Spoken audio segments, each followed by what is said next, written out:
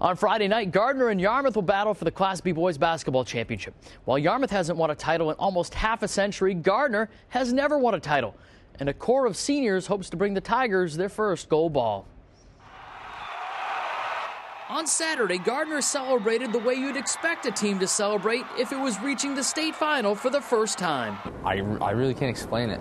I mean, it's really it's it's really cool to be the first group to ever do it from, from Gardiner. We knew all way back then that this is the group, this is the group that was going to go far if we, if we all stayed with it. The core of this team started playing varsity as sophomores and learned from being on a five win team. It was a good step for us as sophomores to get some time and see what it's like on varsity to be on a team that's not very good.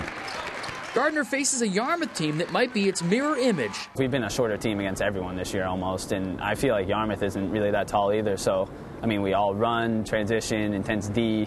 They just transition the same way as we do. They're not they're not oversized, so I feel like we match up pretty well. On the Capital